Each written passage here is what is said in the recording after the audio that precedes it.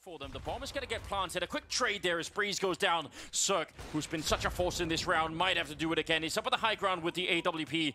And let's see if he can hold this bomb plant. He gets the Device, and now it's a 2-1-3 as the Danes move a little bit closer, trying to see if they can end this map right here, right now. CeRq Covering for the flank. Tarik down on the low ground. Another kill for CeRq. Make it a triple. And now Tarik, not been a great map for him either. And he's going to be going down, leaving it all up to CeRq.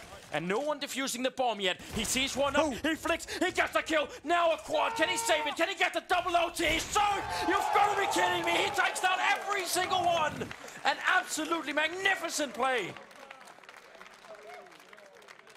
What a beast. The offer, it's, it's exceptional. Just baiting out shots. He knew he had to watch the flank.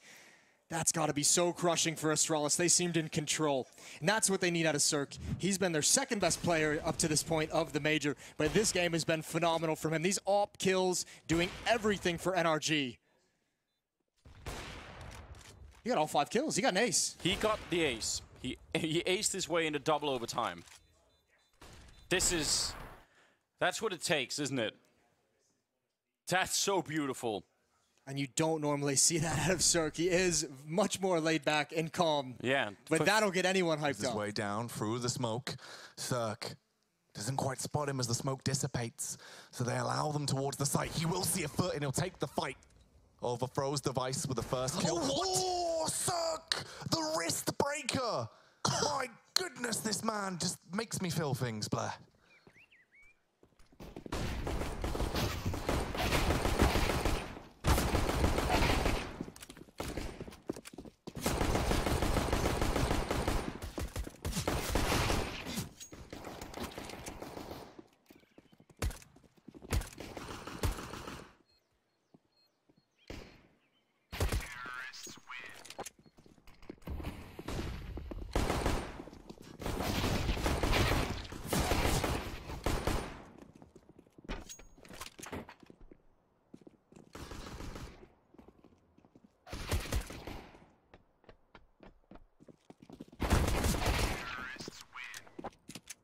Pistols to work with, and this nade Oh, it could be so good. Please, oh, Liaz. There it is. It goes out now. It finds a lot of damage still, in spite of being a little late. CeRq doubling down. Ethan in with one, but so much damage is done to these two oh, remaining no. players. CeRq, surely not. It's the head-to-head. -head. It's the clash of the titans. And CeRq on 17 points of health, waiting for this peak from Grat. Now going to duck down through the vents, tuck tail in towards the B-bomb site, and he's at least going to get away with getting this bomb planted.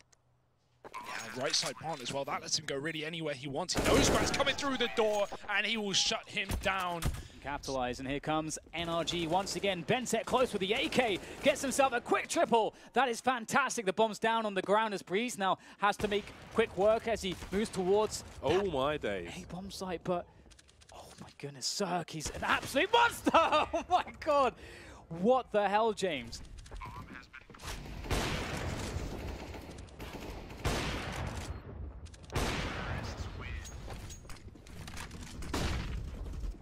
Goodbye, Tarik.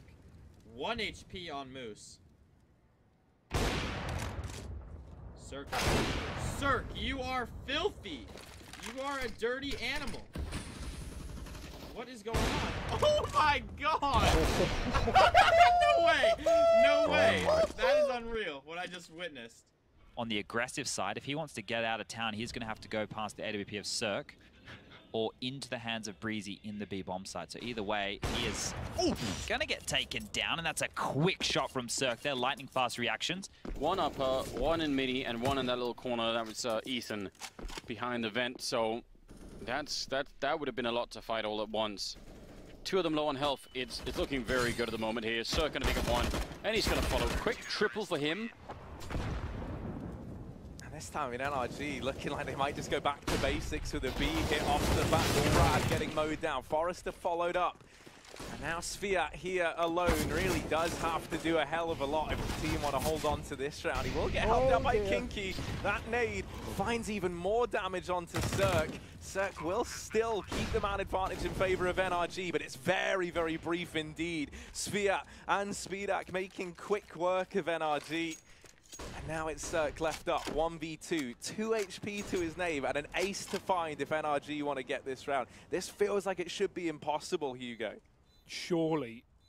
They haven't tapped the bomb yet, though. They're going to double peek him. CeRq's got a 1v1.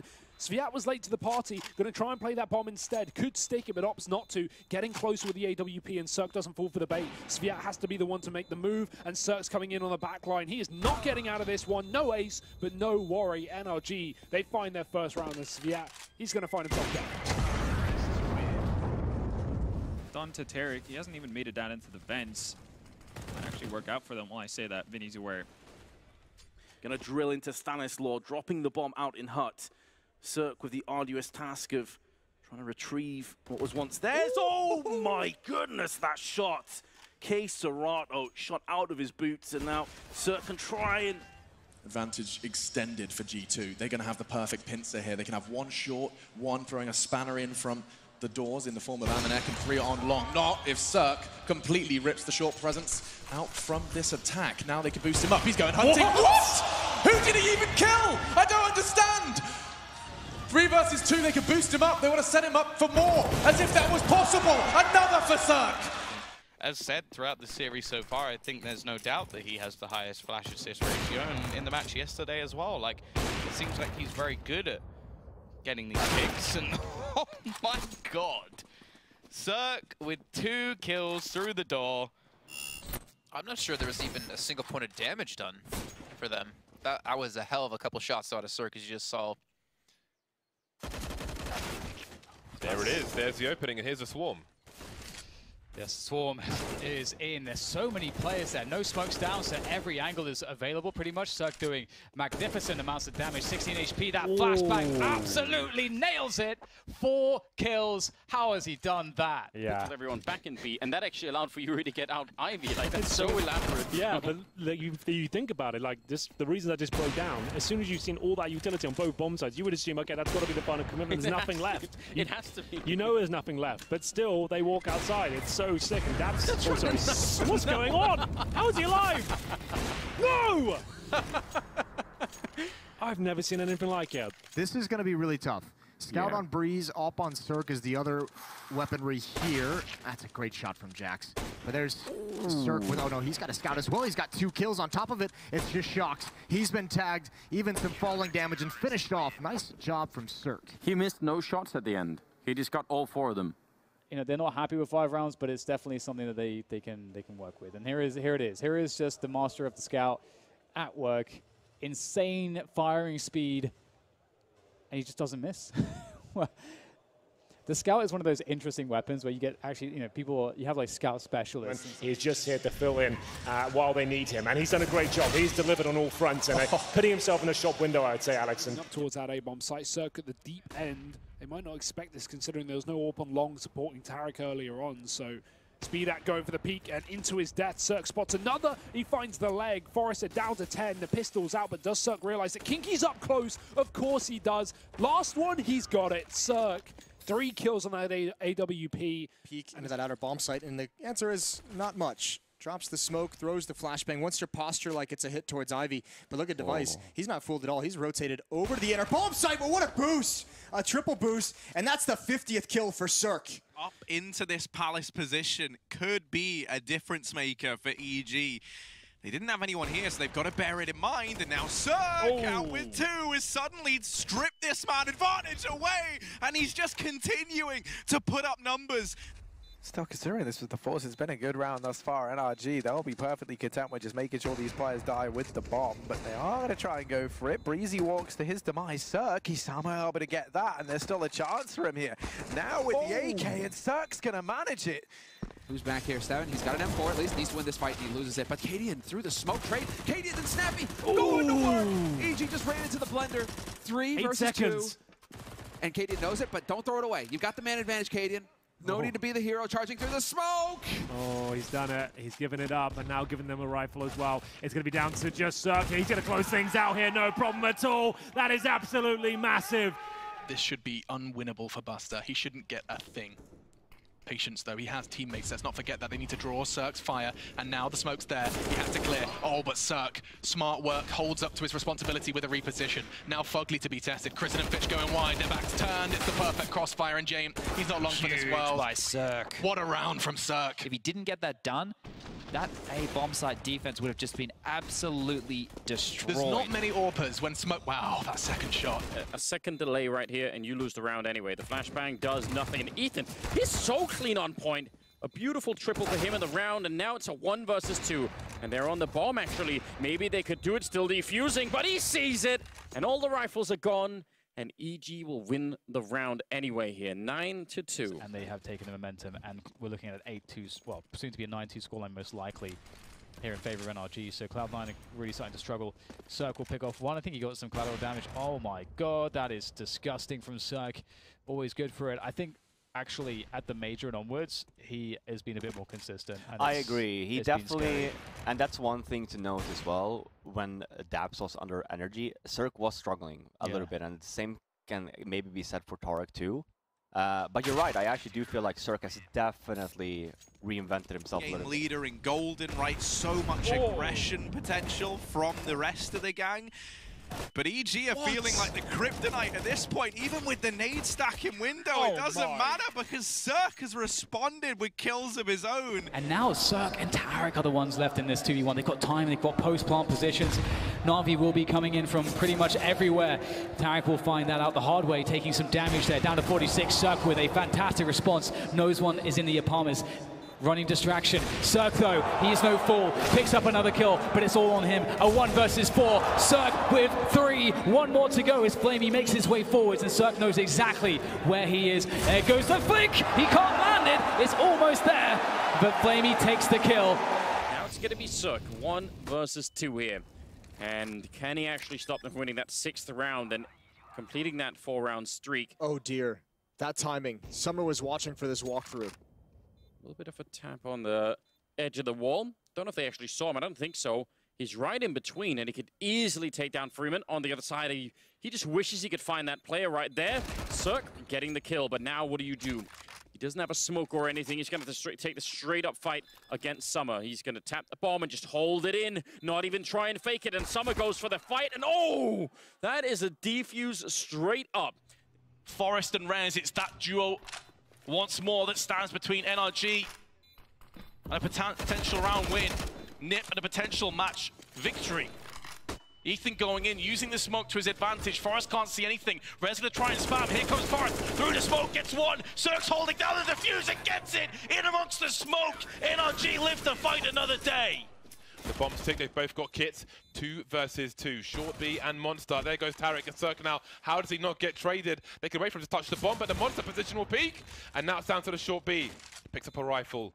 He's running out of time to do this. Avoids the flashbang. Art not peeking just yet. He doesn't believe he's going wide. Oh! And he's clutched it. There's time. Surely there's time. There We're is. going to overtime. Oh my god, that looks insurmountable, but here we are. Henry! This is the boost we normally see in this sort of scenario. It allows you to look towards T steps when you swing out. There it is. That's why. Picture perfectly. Ooh, decide to start moving over. CeRq, he's so mobile with this AWP. Now he gets caught over here towards B. They're getting whittled down by this op. They're just gonna get they're they're they're just gonna get whittled. Oh, this is looking very good. EG, finally, get back into the game. It's been a rough few rounds for them. I'm Just absolutely crushing it to keep it as a close affair, but they still need to get themselves to five rounds. They've currently only got a troublesome two. CeRq with the opener this time. On 2 HP, Magisk brought down to just 81. They're running through Secret, but they've got a little trick up their sleeves, and his name is CeRq. Swings out through the vent, gets one. The timing on the second as well. He very nearly found it. Magisk caught off his pants around his ankles. Somehow, he lands the nose scoop and is able to beat his way through him. CeRq smashes the lot of them. He was caught throwing nades, and Bottle getting tagged as well, jumping up for Ethan. He's not not going to get the kill. Now it's Yorp in the 1v2. CeRq getting a kill, and he's down to 10 HP. Does he commit or just rotate back? He's going to try and cross with the smoke, that Molotov landing, but he's already ahead of it.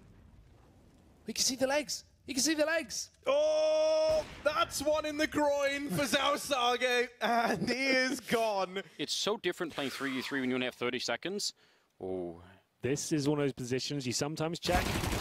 Or you do it half-assed like that, and it all goes very wrong. The first dude needs to be checking that.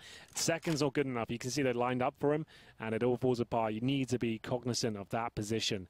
That might be enough to save the round for Furia. It's CeRq, and a two versus one. He's got everything he needs to win this. He's got Molotov, flashbangs, HE, the bomb. 30 seconds, but CT's actually in pretty prime positions here. Towards Squeaky, Fury goes down. Molotov toward the vent, I love it. Will it bait out Vinny just to run up there and hope for the best? So no, CeRq gets a nice clean open plan. And there is no kit for Vinny. CeRq still maintains the advantage, holding towards Hut. And he can toy with him here. He knows as soon as he touches that bomb, he can flash out. He can try and bait out a footstep some shots. He's timed it really well, and it is Wow. going to be CeRq winning the round there. After the double kill towards lower, and as it felt like they were out of it. Speaking of monsters, will make his way in towards that bomb site. MBK with the opportunity. There's the first! Can't find two, and it's going to be a massive advantage now for NRG. It is going to be stolen away, and this timing is working out for Apex. He stayed calm. Alex gets his third, and it looks like the round might be done, but CeRq, oh, he wins these. Apex knows it as well, trying to play it safe, doesn't commit to the kill, wants to guarantee the round win here. RPK coming up towards Bank by the looks of things. And CeRq, he's got time to reposition and make things very complicated. Yeah, you really don't want to challenge him alone. It's a good idea that they get the last player in there. CeRq walking in. RPK's in a lethal position, and CeRq, oh, the timing. Damn. He just made it around the corner. They actually don't have a kid picked up right now. This could be insane. CeRq could actually spend a fair bit of time fighting them. Bomb is up there. They're going to make a jump now. They're on it, but it's a 10 second defuse. Can he get the one kill, then run for it? He's going to go straight for it. Five seconds, four seconds left. CeRq. is- Oh! The quad kill! Picking it up, no scope through the smoke and getting the round for NRG. Outrageous one versus two clutch. That is Ethan to do it. JW doesn't have position to wrap on it, so they can't deny that was probably their best chance. I say that until Twist shows up. CeRq to clutch it back with an AWP, and Twist has an AK picked up. He might be low on HP, but he's getting a lot closer onto position. But JW reads it wrong. Thought CeRq might wrap around it. Twist! He didn't have enough left for the fight. He fought hard, but he didn't have enough left for the last kill, and Energy will win out the half. that suddenly things look so much better for NRG. Oh. There's a fast peek from Cello. He dances on the edge of the tanker train, and it is just CeRq starting to round the corner. He's been shot in the back through the smoke. Yells there. Shot taken. CeRq successfully so. He may have heard the bomb's been touched, but it's back off again. He almost lines up the Oh! collateral. Is it another 1v3 clutch? CeRq, No way. excellent flashbang. Oh my flick! goodness. CeRq's wrists need to be bound. That was